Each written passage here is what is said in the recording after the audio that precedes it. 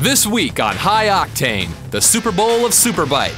All the world's best road racers are flying to Laguna Seca Raceway for their one and only comp in the United States. If these guys had wings, they'd be airborne.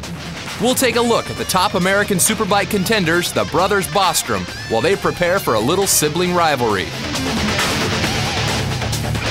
We'll also profile extreme street stuntman Gary Rothwell as he lays down the rubber for the fans at Laguna. Then we'll crank it up as the band Bouncing Souls brings you backstage. All this and the Umbrella Girls 2 coming up on High Octane.